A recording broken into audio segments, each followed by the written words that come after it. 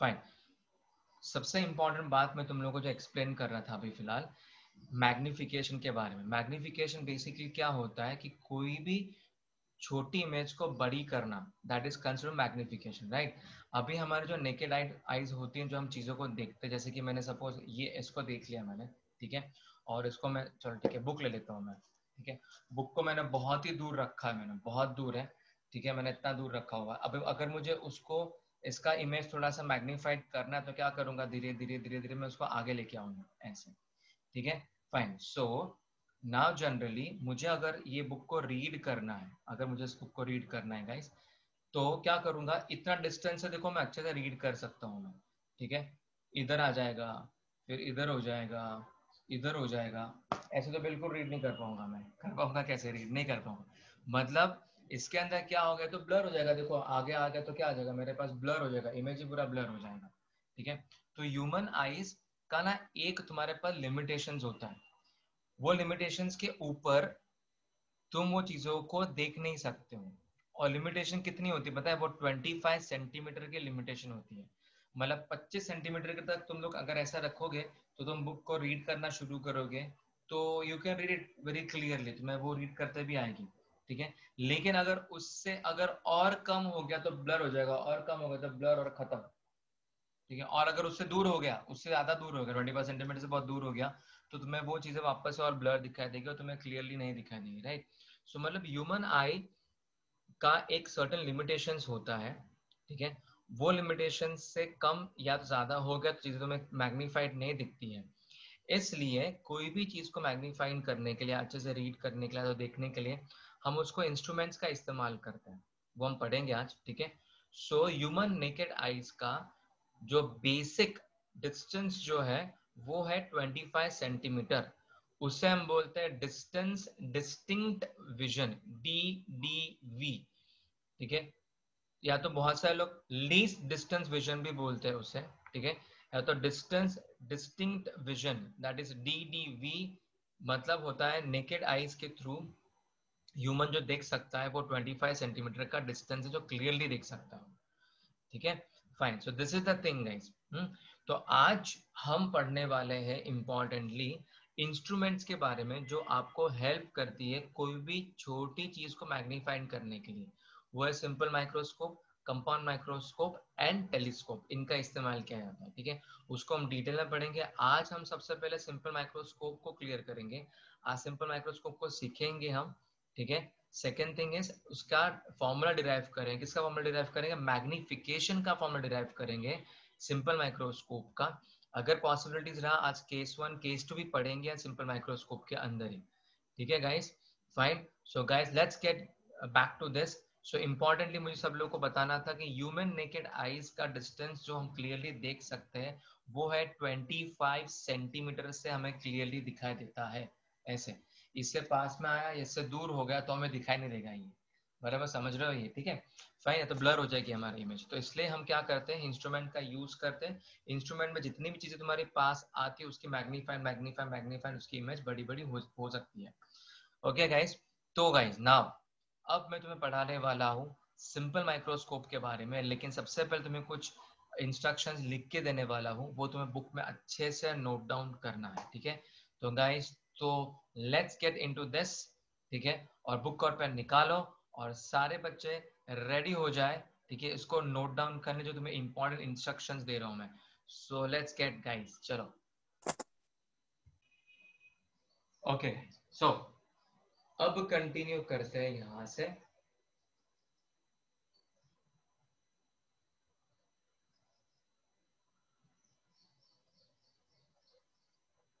Okay okay. तो guys human eyes हमारे जो ह्यूमन आईज होती है गाइस ठीक है? ह्यूमन नेकेड आईज वो क्लियरली कोई भी विजन देख सकती है 25 सेंटीमीटर तक। मतलब इससे हम बोलते हैं distance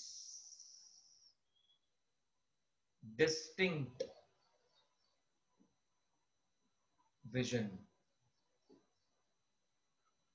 distance distinct vision इसे हम शॉर्ट फॉर्म में बोलते हैं डी डी वी और इसको लिखते भी डी है वहाँ पे। जहाँ पे डी लिखा मतलब समझ जाना, वो रिप्रेजेंट कर डिस्टेंस डिस्टिंग्विशन मतलब हमारी जो आँखें हैं, आँखें, देखो मेरी सुंदर सुंदर आँखें, देखो, आँखें।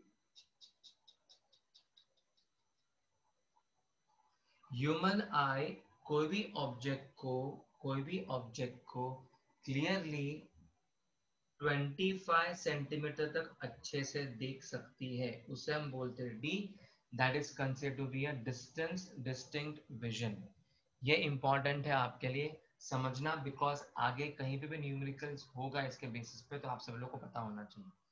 ओके गाइस ओके तो गाइस प्लीज़ सबसे पहले ये क्लियरली लिख लो तुम्हारे बुक में।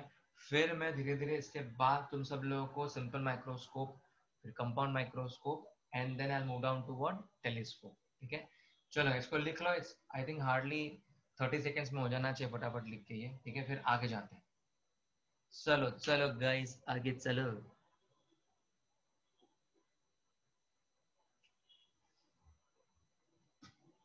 इसे लिख दे नेकेड आई लिख दे, इसको नेकेड आई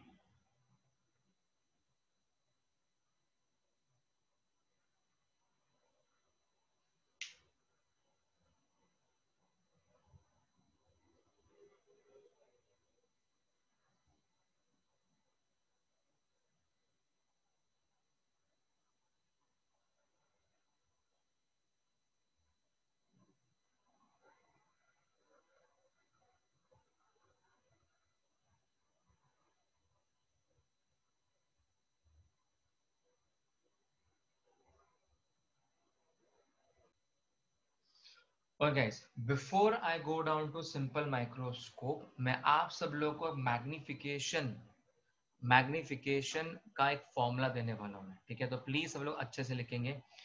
सबसे पहले एक इंपॉर्टेंट uh, चीज़ बता देना चाहता हूँ मैं। ये जो मैग्निफिकेशन का जो फॉर्मूला होगा मैग्निफिकेशन पावर जिसे बोलेंगे ठीक है? ये तीनों भी हमारे इंस्ट्रूमेंट को जाएगा ये वाला फॉर्मूला मतलब किसको किसको जाएगा? ये सिंपल माइक्रोस्कोप को जाएगा, कंपाउंड माइक्रोस्कोप को जाएगा और ये हमारा टेलीस्कोप को भी जाने वाला है, ठीक है? सो मैग्निफिकेशन का फॉर्मूला जो है,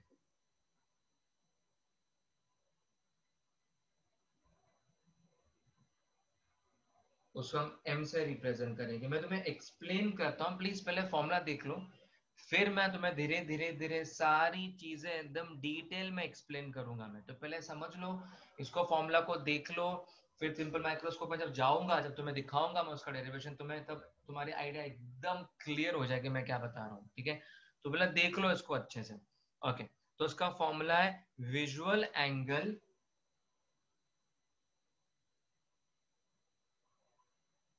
visual angle visual मतलब होता है कि जो हम खुद देख पाते अपने आँखों के थ्रू ठीक है? Visual angle form by visual angle formed by final image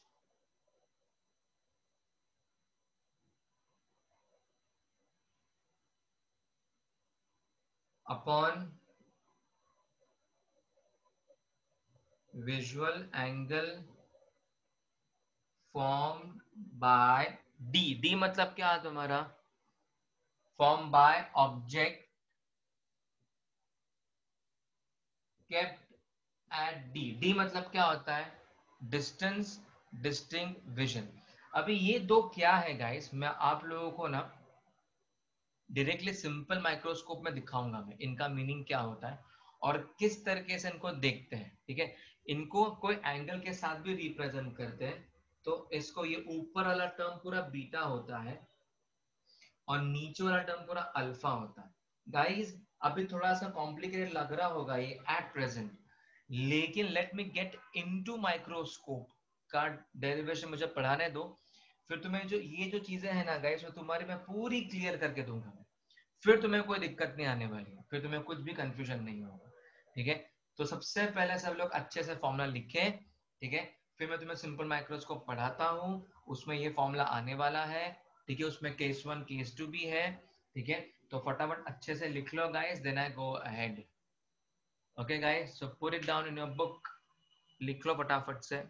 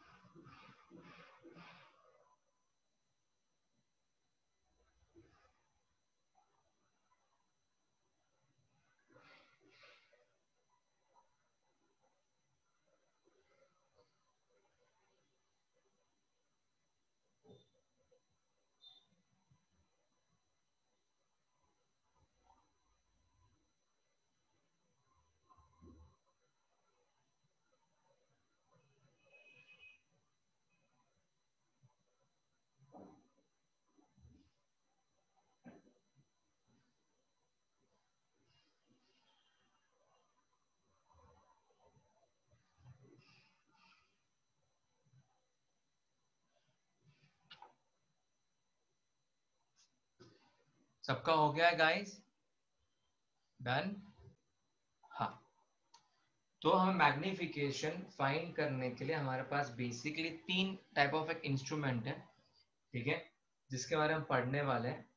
सबसे फ़र्स्ट है सिंपल माइक्रोस्कोप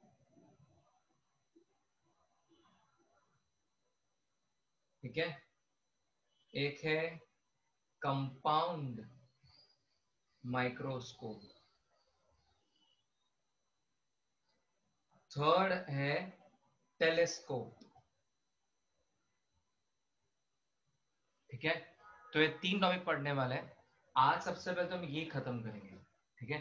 तो तीनों टॉपिक के नाम लिख लो फटाफट गाइस ठीक है? फिर मैं इरेज करके डिटेल में आप सब लोगों को सिंपल माइक्रोस्कोप के बारे में एकदम डिटेल में बताना शुरू करूँगा। धीरे धीरे लेके जाऊँगा क्योंकि इसमें डायग्राम वगैरह भी आएगा। तो मुझे स्पेस लगने वाली इतनी पूरी कंप्लीटली ठीक है? सब लोगों ने पुटअप कर दिया गाइस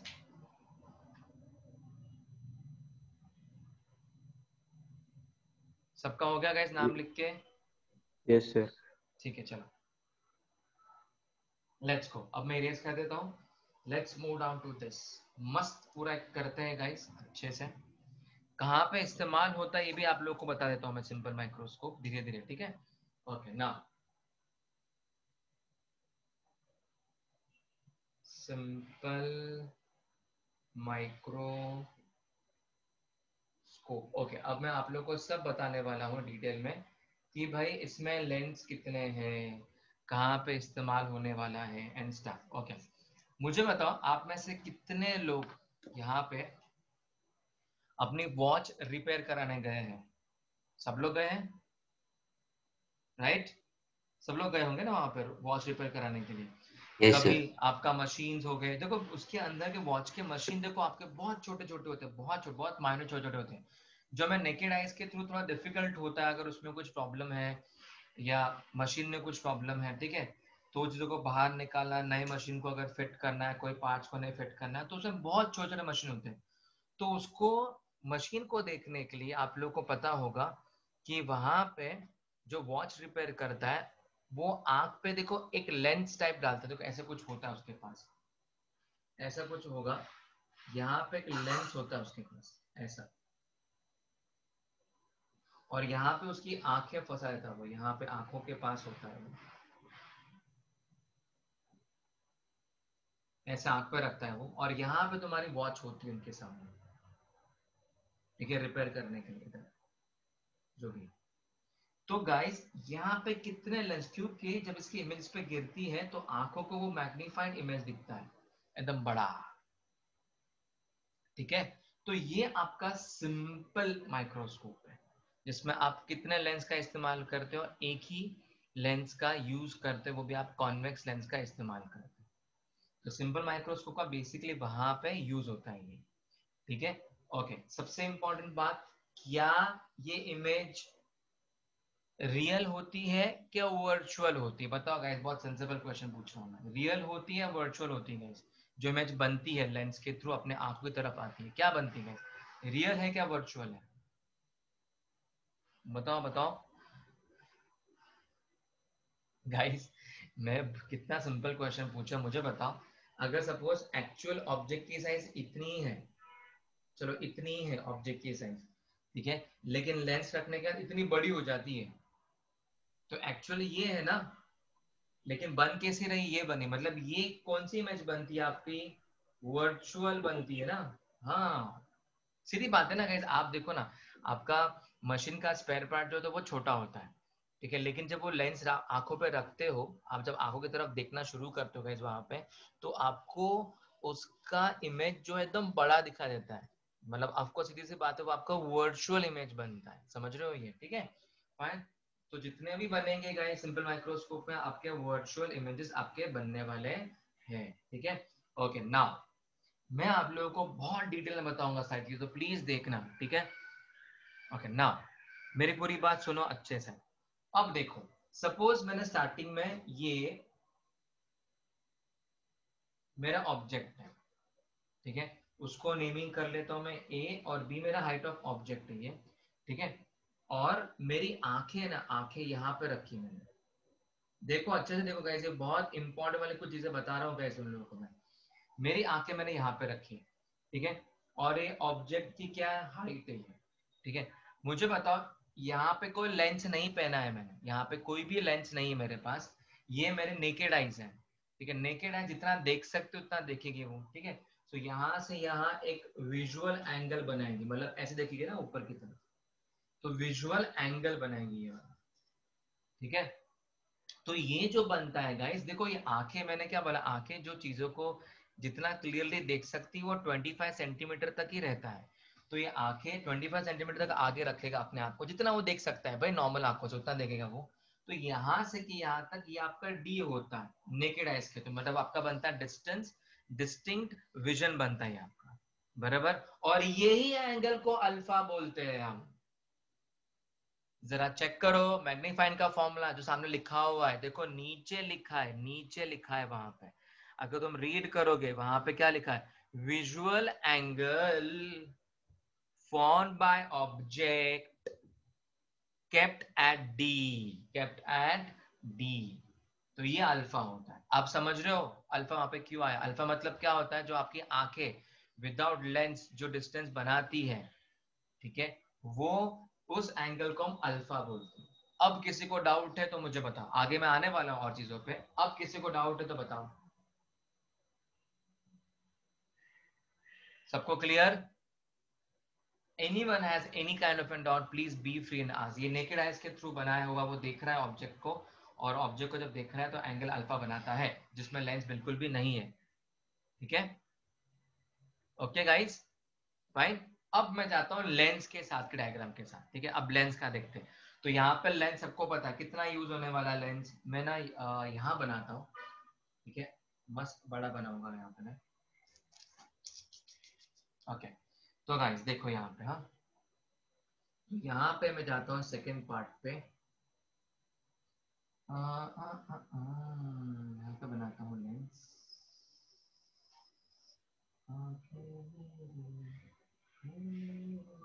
ओके okay, ये लेंस बना मेरा। यहाँ से मेरा बना है प्रिंसिपल एक्सिस ठीक है? अभी देखो ये जो ऑब्जेक्ट है वही ऑब्जेक्ट मैंने यहाँ पे रखा हुआ है। किसके? अभी लेंस है वहाँ पे ठीक है? मैं आँखें भी ड्रॉ करूँगा ताकि आपको थोड़ा सा फील आ जाएगा कि भाई कैसे बनता है ये ठीक है? तो यहाँ पे देखो ये मान लो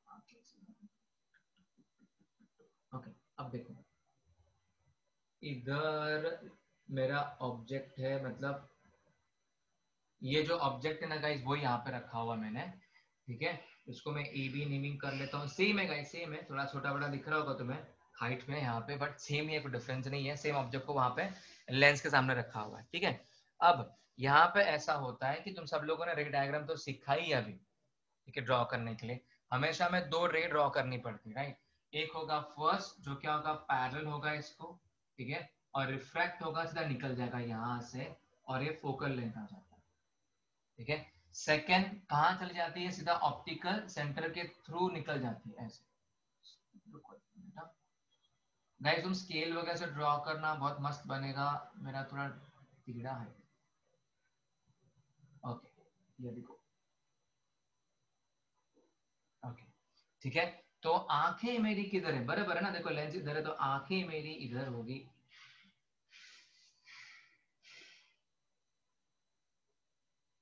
ठीक है? आँखें में इधर। अभी, ये तो ऑब्जेक्ट है भाई। ऑब्जेक्ट के थ्रू रे लाइट आ रही है तो इसका इमेज कहाँ बनेगा? मैंने क्या बोला था?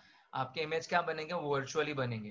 तो मतलब कहाँ बनेगा? पीछे की तरफ़। तो यहाँ से स्केल लेके गाइस अब मैं थोड़ा सा टिल्ट हो सकता है बट आपने यही लाइन को स्ट्रेट ऐसा स्केल लेके बनानी है ऐसे। बहुत प्रॉपरली बनाओ, अच्छे से बनाओ, ठीक है? देखो, ऐसे। टक टक टक टक टक। ठीक है? फाइन यहाँ से भी आपने स्ट्रेट बनानी है, थोड़ी सी लाइन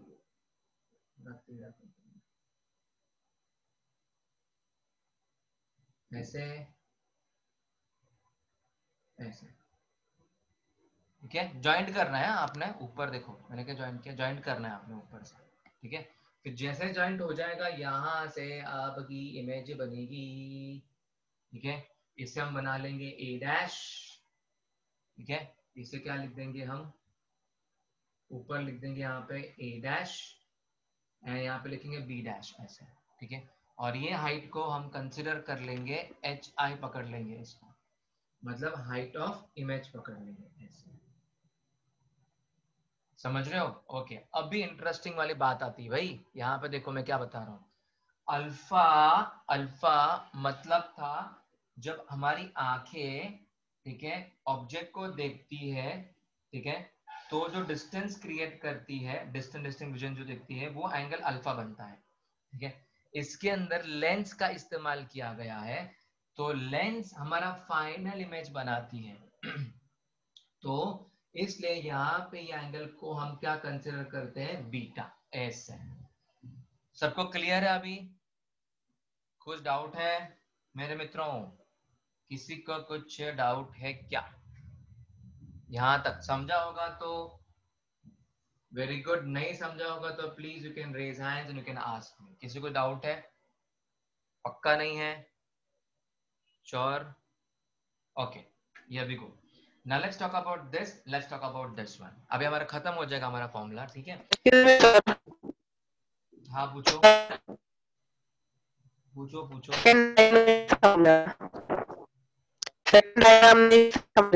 मुझे तेरा आवाज़ नहीं आ रही है। क्या कौन सा ये वाला नहीं समझा तुझे? हाँ वो वाला नहीं समझा सर।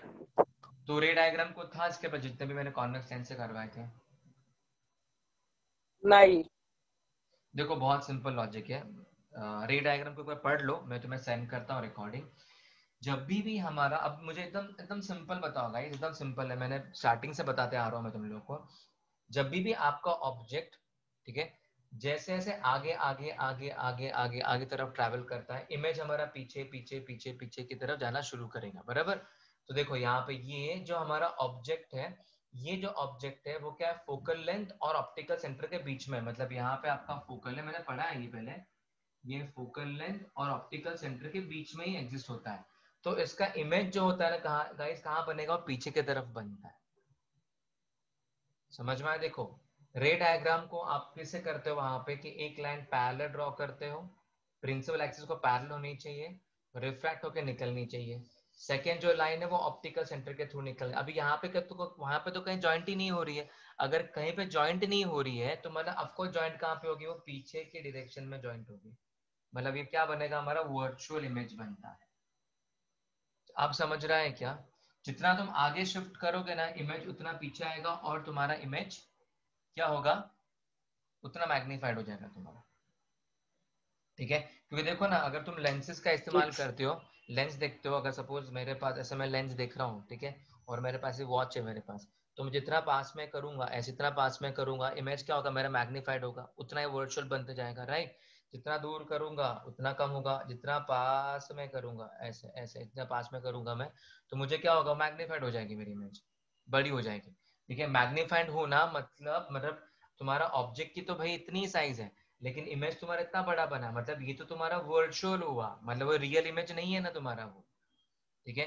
वो ओरिजिनल साइज़ से बड़ा साइज़ में आ गया ये तो तुम्हारा वर्चुअल इमेज बना है ठीक है? आप समझ रहे हो मैं क्या बता रहा हूँ गाइस ठीक है?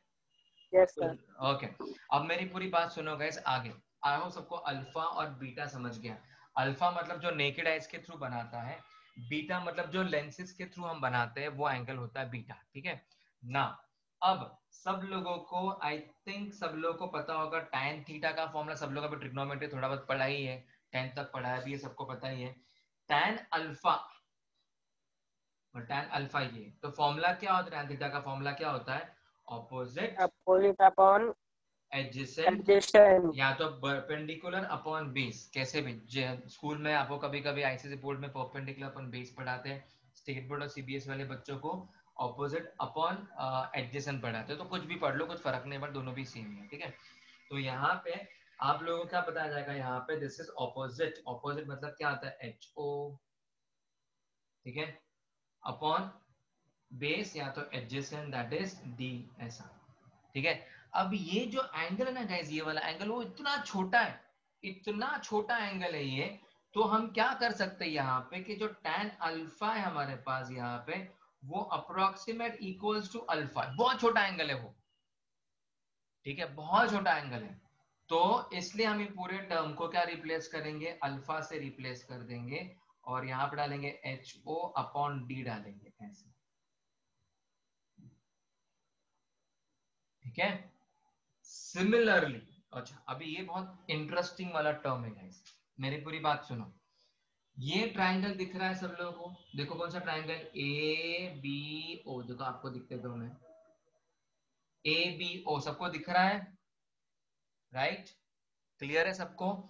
ये वाला टर्म देखो, ये ऑब्जेक्ट है ना? और ये क्या? ऑप्टिकल सेंटर है। तो ये u मतलब क्या होता है? सबको पता है। ऑब्जेक्ट डिस्टेंस होता है। तो यहाँ से यहाँ तक ये क्या बनता है तुम्हारा? ऑब्जेक्ट डिस्टेंस बनता है। बराबर? ठीक है? देखो नेकेड थ्रू के यहाँ पे डी बने बिकॉज़ यहाँ पे लेंस नहीं इस्तेमाल किया। लेंस जब बनाओगे तो यू मतलब तुम्हारा ऑब्जेक्ट डिस्टेंस होता है। अब सबको क्लियर है? मैं क्या बता रहा हूँ guys is everybody clear guys समझना, अच्छे समझना है। यू मतलब क्या है मेरा? U is nothing but everybody knows it's an object distance होता है। ठीक है? फाइन तो ये ट्रायंगल में भी हम टैन का फॉर्मूला इस्तेमाल करेंगे टैन बीटा टैन बीटा मतलब अगेन क्या होगा? ऑपोजिट अपॉन एडजेसेंट मतलब क्या हो जाएगा? एच ओ अपॉन क्या हो जाएगा? यू ओके ठीक है? नाउ सेम केस है गाइस ये एंगल इतना छोटा है, इतना छोटा है गाइस तो ये एंगल को ऐसे लिख सकते हैं tan beta is nothing but approximate equals to beta ऐसा होता है। तो मतलब ये जो फॉर्मूला बना है मेरे पास यहाँ पे सिर्फ़ बीटा आएगा यहाँ पे आ जाएगा एच ओ और यहाँ पे आ जाएगा यू ऐसे।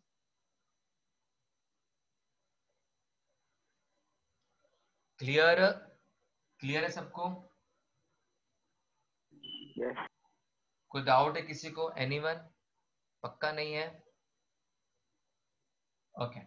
अब मेरी पूरी बात सुनो। अब आती हमें एक्चुअली क्या निकालना है?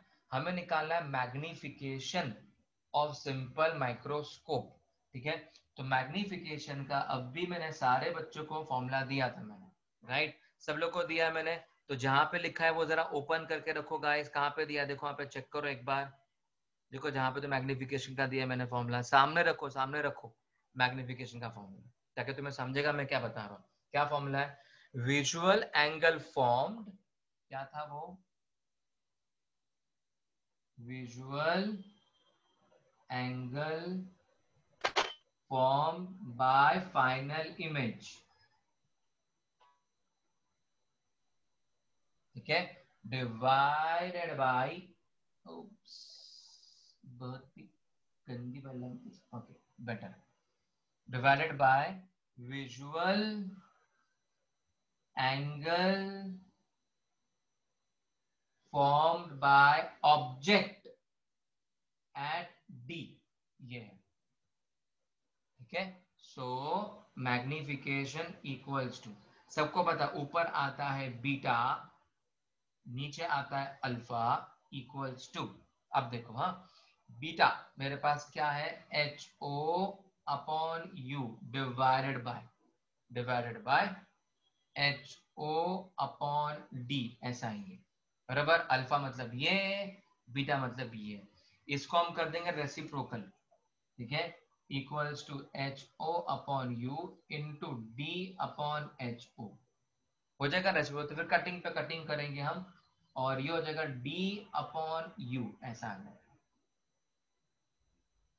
ठीक है? तो ये हमारा मैग्निफिकेशन ऑफ़ सिंपल माइक्रोस्कोप का फॉर्मूला बनता है गाइस ठीक है? तो यहाँ पे लिखता हूँ मैग्निफिकेशन ऑफ़ सिंपल माइक्रोस्कोप का फॉर्मूला है डी अपॉन यू देखो, तुम्हारे बुक में ना टेक्स्ट बुक में, या तो तुम्हारे नोट्स में, या कहीं पे भी, कहीं पे भी, बहुत जगह पे ना, ये लोग ई e भी इस्तेमाल करेंगे। ऐसे ई e वर्ड आता है वहाँ पे।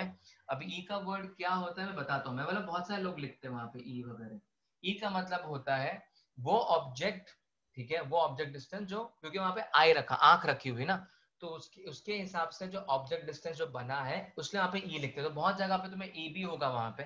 तो कंफ्यूज नहीं होना कि भाई क्या है ये, ठीक है? सो एज मीनिंग इनका सेम है, तुम ई लिखो या ना लिखो, कोई प्रॉब्लम नहीं, कोई परवाह नहीं। सबको क्लियर है गाइस ये हमारा मैग्निफिकेशन का फॉर्मूला बना। इसमें हमारे पास दो केस है केस वन केस टू मैं तुम लोगों को बता देता हूँ, मैं छोटे छोटे केस ही है, लेकिन सबसे पहले तुम्हारे बुक में अच्छे से इसको लिखो गाइस डायग्राम वायग्राम बहुत अच्छे से बनाओ, उसको नीट एंड क्लीन बनाओ। ठीक है? एकदम अच्छे से इसका नोट्स बना के लिखो। नोट्स मिलेंगे तुम्हें। बट गाइस जो तुम्हें मैं हैंड रिटर्न देता हूँ ना गाइस लिखने के लिए, वो सबसे ज़्यादा इंपॉर्टेंट है बिकॉज़ एक कॉन्फिडेंस जनरेट होता है जब तुम्हारे बुक राइटिंग बुक वाली अच्छी होती है तुम लिखने के लिए। बिकॉज़ गाइस तुम्हें ये दो साल तक यूज़ करनी है। समझ रहे हो? ऐसा नहीं कि तुम्हारा लेवल खत्म हो गया तो भैया अभी उड़ा देंगे इसको। ऐसा नहीं करना है हमें। इसको कंप्लीटली टू इयर्स के लिए इसका इस्तेमाल करना है हमें। We have to use it guys because देखो, आप लोगों को एंट्रेंस एग्जामिनेशन के लिए ये चैप्टर है, ठीक है? आपको इलेवेंथ में अभी चैप्टर है और एंट्रेंस को आपको ये चैप्टर है ऑप्टिक्स के अंदर। तो मैं ये बता रहा हूँ आप लोगों को कि टॉपिक वापस जब आपको रिवाइज करना होगा इन इन फ्यूचर आपको रिवाइज करना होगा तो आपका रिकॉर्डिंग तो बड़ा ऑब्वियस होगी बट आपके पास नोट जब होंगे तो आपके लिए आसान हो जाएगा उतना करने के लिए, ठीक है? चलो गए लिख लो इसको अच्छे से। सबको समझ में आया ये किसको डाउट है तो बता दो। समझाए गाइस पूरा क्लियर है? यस सर ठीक है चलो लिख लो इसका डायग्राम वायग्राम अच्छे से बना होगा इसका। आयो सब लोग स्केल पेंसिल लेके बैठे ड्रॉ करने के लिए डायग्राम ठीक है नीट एंड क्लीन बना होगा इसका।